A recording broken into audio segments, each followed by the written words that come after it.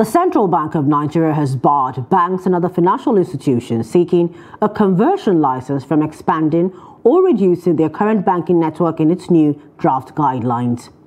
The CBN discloses this in a circular to banks and other financial institutions titled Regulatory Guidelines for Change of Operational License for Banks and Other Financial Institutions in Nigeria.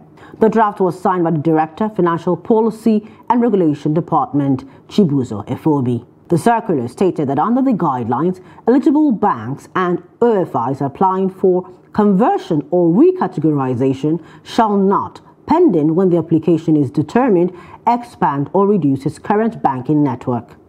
The CBN stated that due to increasing requests for financial institutions to either upgrade or convert to other license regimes, the draft guidelines aim to provide clarity to eligible financial institutions on regulatory requirements.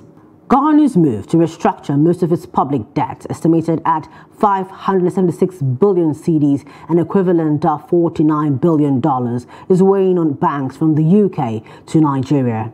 The West African nation exchanged 87.8 billion cedis of notes that paid an average of 19%, with bonds returning as little as 8.35%, resulting in losses for financial institutions four of Africa's biggest lenders, Standard Bank Group Limited, FirstRand Limited, Absa Group Limited, and Nedbank Group Limited collectively set aside $267 million to account for the losses, impairing as much as 57% of local and onshore dollar denominated debt holdings.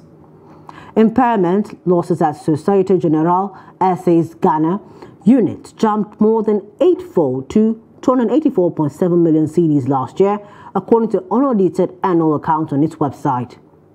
Meanwhile, Standard Chartered PLC set aside $160 million. Zenith Bank PLC, Nigeria's biggest lender by market value, says it has set aside 123.4 billion naira, representing $267 million in part to account for its holdings of bonds in Ghana as the nation restructures its debt. And finally, in stocks, the Nigerian equity market on Wednesday bounced back from four straight sessions of decline as the all-share index grew by 0.90% to settle at 53,603.80 points.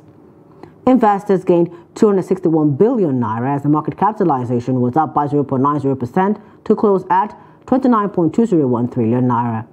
The market breadth closed positive as 22 equities appreciated in price against 14 that declined in their share prices. An aggregate of 236 million units of shares were traded in 3,906 deals valued at 3.26 billion naira.